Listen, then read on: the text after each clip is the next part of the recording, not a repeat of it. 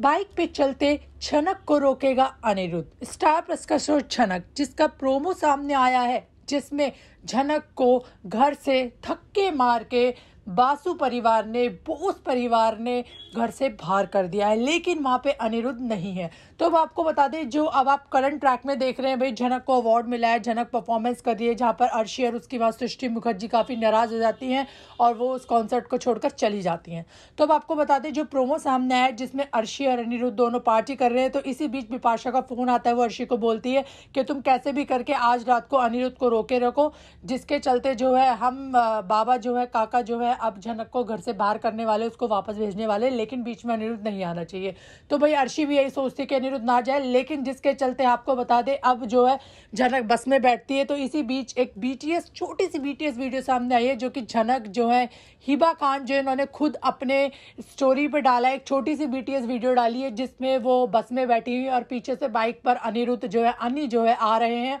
उनको रोकने की कोशिश कर रहे हैं और वो अपना बस में बैठी हुई हैं। तो आपको बता दें, आने वाले ट्रैक में ऐसे जो है झनक को रोकेगा अनिरुद्ध और आगे और झनक को जिस तरह से उसने अवार्ड लिया है और आगे आखिरकार उसको, उसकी सक्सेस का आगे उसको क्या इनाम देगा, ये देखना इंटरेस्टिंग होगा कि आखिरकार अब इस कदम से जैसे कि अनिरुद्ध उसको रोक रहा है, उसको जब पता चल जाएगा कि झनक तो घर पे ही नहीं है, वो उसके इधर उधर ढूंढेगा और ऐसे करके बाइक से उसको रोकता नज़र आएगा। तो देखना इंटरेस्टिंग होगा क्या झनक रुकेगी या फिर वापस श्रीनगर चली जाएगी। आपका इस पर क्या है कहना कमेंट सेक्शन में ज़रूर बताइए। साथ ही चैनल को सब्सक्राइब करिए ऐसे लेटेस्ट अपडेट के लिए।